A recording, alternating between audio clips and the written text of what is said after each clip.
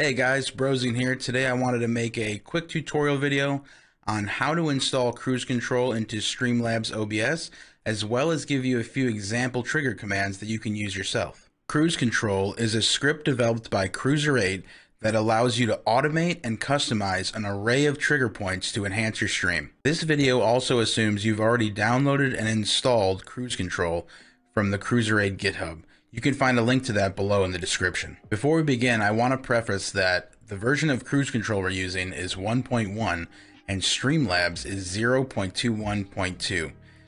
Installation process, the way these things work could change at any time depending on how Streamlabs or Kruiser8 develops their tools. So to begin the process of installing Kruiz Control into Streamlabs, already assuming that Kruiz Control has been downloaded, we're going to navigate to the folder, the master folder, and you're going to open settings.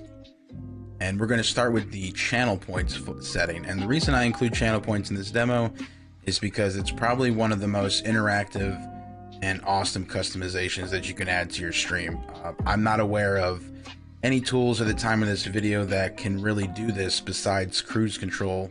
Uh, so really great feature to learn and it's very easy to set up. All it needs is the user channel name. So you'll go in here.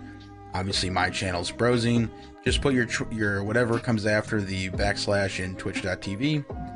Save that, and you're done. Now for the chat settings, fairly straightforward. Again, we have our user text document. You're just going to want to include your Twitch channel in there and save it. And then we have an OAuth file, which is where we need to get a Twitch IRC token. Now you can open this up. I've blurred it for the purposes of this video, but I'm going to generate a new one here. With this open, well, you don't really have to have it open, I guess, but go ahead and navigate to the Twitch chat password generator. The link is in the description. Kruiser's linked that for us. Uh, and you're just going to click connect. You may have to sign in. Mine automatically recognizes. Uh, and it'll generate a password to log in. So you're going to copy that, go back to your notepad, delete everything from the file and paste that in directly and save it. Now the last setting we need to set up is your actual Streamlabs integration. And for this you're going to need a socket API token. And just like the Twitch IRC token, you can find a link to where you can go directly into Streamlabs from this from the Kruiz Control documentation. I have it pulled up here in Chrome for this example, so let's open this file. And we'll open Chrome. Basically, you're just going into your API settings in your Streamlabs dashboard. See a socket API token. This is the one you need. You don't need to worry about your API access token. Just click copy. It'll copy it to your clipboard. And again, clear everything out of this file. Paste in your token and hit save. Alright, so we've set everything up. Now we actually want to put Kruiz Control into Streamlabs OBS. And how do we do that? So we're going to open Streamlabs OBS and we're going to create a separate scene, and I'll explain why in a second, for Kruiz Control. We're actually going to add the index file that can be found in the Kruiz Control master folder as a local browser source. You'll add, like browser source, We'll just call it Kruiz Control. And then you're going to check local file, go to browse, to open up our master. And here's our index file, choose that, click open. I uncheck shutdown source when visible. This will not affect Kruiz Control. This is just a personal OCD preference. Uncheck that and click done. And Kruiz Control has now been added as a scene in Yes. So the reason we use Kruiz Control in its own separate scene is we're actually going to nest that into all our regular stream scenes.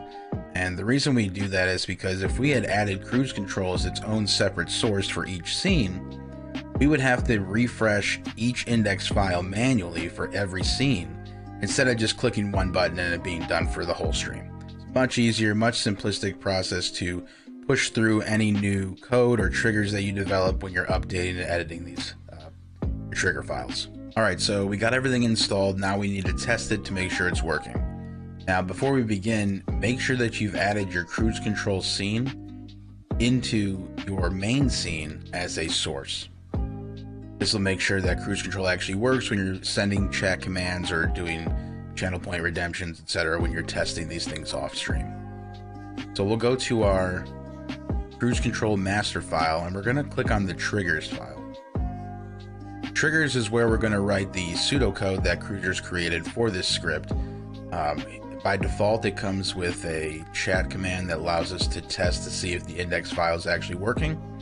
So we're just going to type exclamation point example, and if we've set this up correctly, we should see a chat message that says success, it worked. And let's try that right here.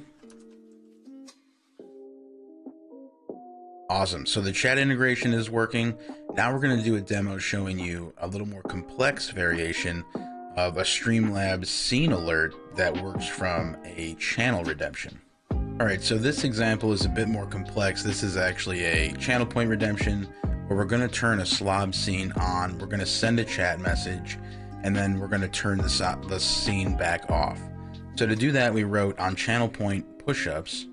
So when someone redeems that, that command, that redemption, turn the source pushups on, send a chat, chat message that it's pushup time, and then delay eight seconds. Then we're going to shut the source back off. Now, an important thing to do after you're done writing this trigger or any trigger is you want to save this file.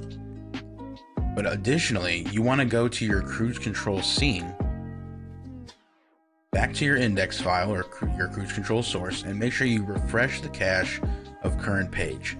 This is going to send your most recent code back into Streamlabs for the Kruiz Control script to read. So we'll go back to our test scene, disable studio mode here. And when I redeem a push-up, we should now get uh, an awesome video and audio scene. Let's try it out here. And redeem.